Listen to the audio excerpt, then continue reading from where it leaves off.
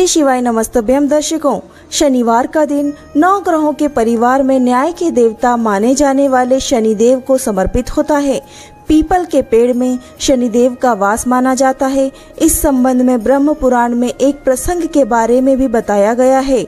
इसके अलावा 118वें अध्याय में इनका वर्णन किया गया है, जिसमें शनिदेव कहते हैं कि मेरे दिन अर्थात शनिवार को जो मनुष्य नियमित रूप से पीपल के वृक्ष का स्पर्श करेंगे, उनके सब कार्य सिद्ध होंगे तथा मुझसे जो उनको कोई पीड़ा नहीं होगी, उससे आप अपने पीड़ाओं को हर लेंगे। यानी आपको कोई पीड़ा है तो आप पीपल के वृक्ष को स्पर्श ज़रूर करें। शनिवार को प्रातःकाल उठकर पीपल के वृक्ष के दर्शन करें और उन्हें स्पर्श करें। उन्हें ग्रहों ग्रहों की वजह से उत्पन्न पीड़ा नहीं होंगी। शनिवार के दिन पीपल के पेड़ से जुड़े कुछ उपाय हैं जो हम आपको बताने वाले हैं, जो आपकी सारे दुख तकलीफें दूर हो जाएँगी और आपके जीवन में लक्ष्मी का वास होगा। यदि आप गरीब हैं, आपके जीवन में धन संबंधी कोई परेशानी चल रही है, आपके पारिवारिक संबंधी कोई परेशानी चल रही है, आपका कारोबार नहीं चल रहा है तो एक छोटा सा उपाय ज़रूर कीजिए।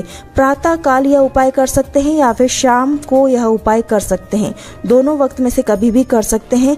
आपको एक लोटा जल लेना है, उसमें थोड़ी सी काली तिल मिला लेनी है और एक तिल के तेल का दीपक ले लेना है, लंबी बाती वाला मिट्टी का दीपक ले सकते हैं या फिर आटे का बना लें और एक पीपल का पत्ता लेना है। थोड़ी सी काली तिल उसका ऊपर रखना है और एक सिक्का ले लेना है। कुछ कितने भी पैसे आप रख सकते हैं उसके ऊपर सिक्का ज़रूर रखें, आप नोट ना रखें। और इसको लेकर के आप पीपल के वृक्ष के पास जाएँ। पीपल के वृक्ष को हाथ जोड़कर प्रणाम करें और एक लोटा जल जो हमने ले गए हैं, उसे उस पर समर्पित करना है।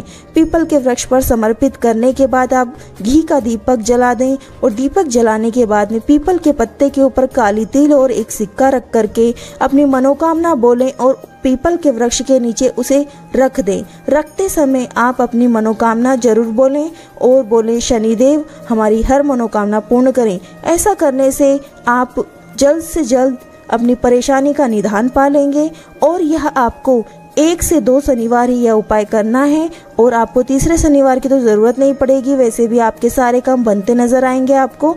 तो दर्शकों, और भी कई उपाय हैं जो हमने हमारे चैनल पर डाल रखे हैं। अगर आपके जीवन में कोई भी परेशानी है, किसी भी कार्य को सिद्ध करवाना चाहते हैं तो हमारे उपायों को ज़रूर आजमाएँ। 100 परसेंट गारंटी है कि हमारे उपाय आपको कारगर, सिद्ध साबित होंगे।